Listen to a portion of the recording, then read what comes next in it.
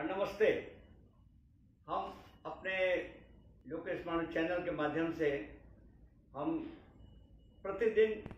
कानून पर छोटे छोटे छोटे विषयों पर लोकहित, जनहित में हमने बताने का और समझाने का प्रयास आज से शुरू। सबसे पहले आज का मैंने विषय एक उठाया है, वो है ट्रांजिट रिमांड ट्रांजिट रिमांड क्या कहते हैं, किसको कहते हैं? बहुत कम शब्दों में हम समझाने का प्रयास करेंगे अपने लोगों को लोक जनहित में, तथा जो पुलिस वाले भाई सुनते हो तो वो भी सुने।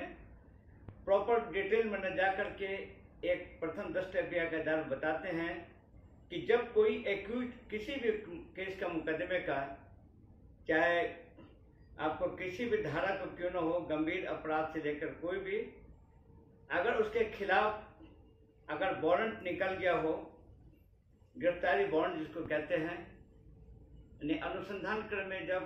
पुलिस को लगता है कि इसके विरुद्ध साक्ष्य उपलब्ध है तो न्यायालय से वारंट लेता है गिरफ्तारी करने के लिए। अगर पुलिस को पता चलता है कि वो व्यक्ति, वो बिहार में नहीं होकर के वो मुंबई में छिपा हुआ है, या कहीं मद्रास, बेंगलोर, कहीं छिप सकता है वो, पुलिस को जानकारी मिलती है और पुलिस वाले वहाँ जाते हैं। और वहाँ के पुलिस के सहयोग से आपको वारंट के आधार पर आपको दिखाया जाता है एफ़ के आधार पर कि ये केस का वांछित है तो उसके बाद वहाँ के पुलिस के सहयोग से उसकी गिरफ्तारी की जाती है। दोस्तों, मैं स्पष्ट कर देना चाहते कि कानून बोलता है हमारा, जो सीआरपीसी बोलता है, संविधान का अनुच्छेद से लेकर पुलिस मैनुअल तक बताता है कि अगर दूसरे राज्यों में किसी भी अभियुक्त की जब पुलिस वाले गिरफ़्तार करेंगे तो वहीं से, जहाँ से उसकी गिरफ्तारी होगी, उस एक्यूज को उसी ज़िले में या जनपद में या डिस्ट्रिक्ट कह सकते हैं आप, जो भी वहाँ का, जो सीजीएम लेवल का मजिस्ट्रेट होंगे, या मेट्रोपोलियन मजिस्ट्रेट हो, कोई हो, उसको पुलिस का धार्मिक धर्म कर्तव्य है कि सबसे पहले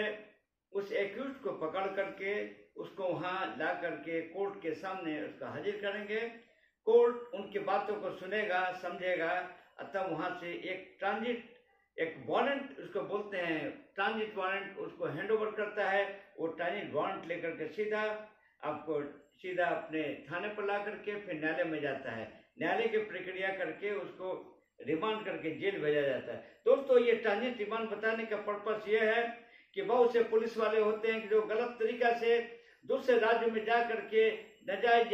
तरीके से उसको गिरफ़्तार कर लेते हैं और वहाँ से रात रात लेकर भागते हैं। और भागकर सीधा अपने राज्य के उसी थाने में पहुँच करके एक कोर्ट के सामने झूठी तरीके से गवाही देते हैं कि ये है, वो है। ये बिल्कुल गलत प्रक्रिया है। अगर कोई भी एक्यूज अगर दूसरे राज्य से अरेस्ट होता है, हम वहाँ के डिफेंस लेयर को डिफेंस को एपीओ को, सबको हम एक गुजारिश करते हैं कि ऐसे जो पुलिस वाले करते हैं, उस पुलिस पर कठोरतम कार्रवाई हो क्योंकि उसने तथ्यों को छिपाया है सीआरपीसी के नियम को और पुलिस मैनुअल का नियम को छिपाता है, उस पर प्रोसीडिंग चलनी चाहिए, उस पर कार्रवाई होनी चाहिए, ये छोटा सा विषय है। दोस्तों, इसी को ट्रांजिट डिमांड करते हैं। छोटे विषय के साथ फिर आपके सामने आएँगे। सभी के साथ जय हिंद।